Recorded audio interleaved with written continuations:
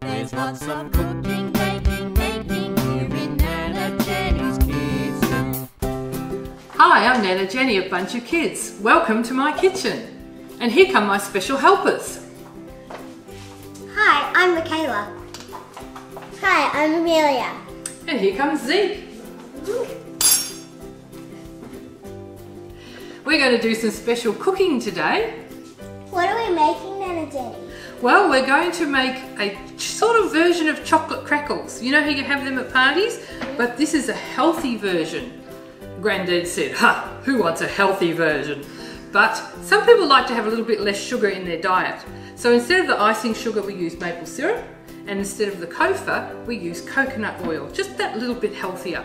So Zeke, would you like to measure out the rice bubbles? Yes, please. Okay, here they are. You need to put three cups into this bowl. Can you do that? And girls, we're going to melt the ingredients that are going to stick it together. So Michaela, I'm going to give you two jobs. First, with this third of cup, you need to fill it up with cocoa and put it in the pot, and then the coconut oil. Can you do that for me? And Amelia, you're going to put, give us half a cup of coconut. Well, you can do it that way. Will that work? Yep.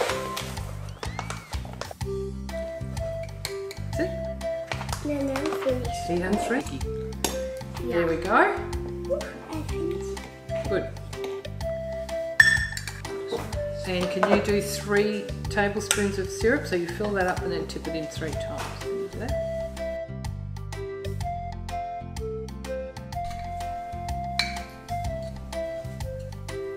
Yep, one.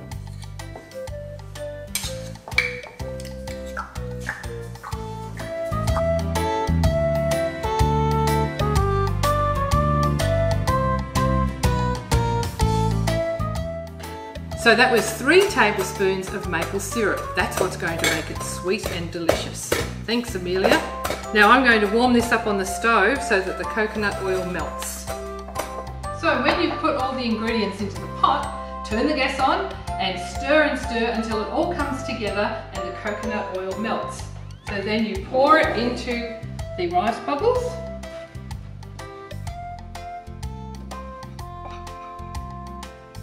and you get one of your helpers to stir it for you.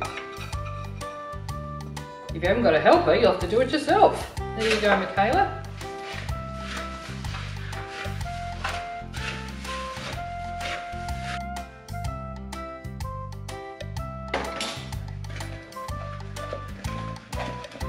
So, when it's all mixed together, it's time to put it into the patty pans. I found these cute little cups, but you can just use a normal paper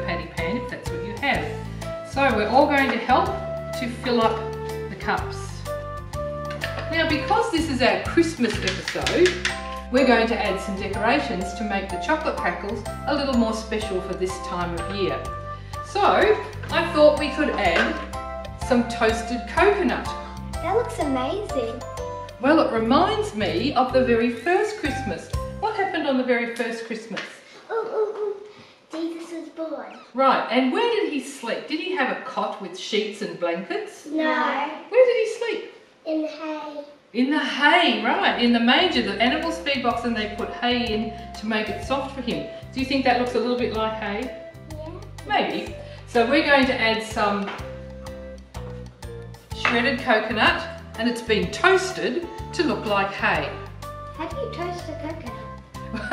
Good question. You can do it two ways. You can put it on a tray in the oven. You have to watch it because it browns pretty fast. Or you can do it in a fry pan on top of the stove and stir it around until you see that golden browny colour come. So sprinkle a little bit on top of your chocolate crackle.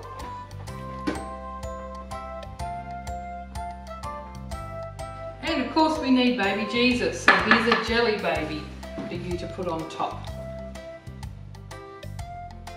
There we go. So there's a quick chocolate crackle, sort of a Christmas version. The other thing I thought was if you wanted to put a different sort of decoration, we could make little Christmas trees to stick in the top. So I just cut two little Christmas shapes out of paper. And if we use a glue stick, we can put them onto, yeah, a toothpick. Stick it together.